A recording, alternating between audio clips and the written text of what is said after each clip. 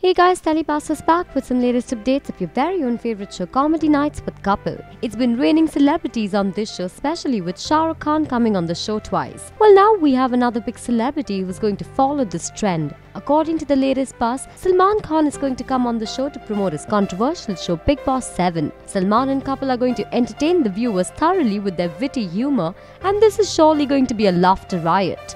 We're super excited to see Salman on the sets of Comedy Nights with Kapil. Are you? Also, do you want to know what happens on the show? Then hit the like button and leave your comments till we come back to reveal it. Don't forget to subscribe to Telebuzz for more daily television updates.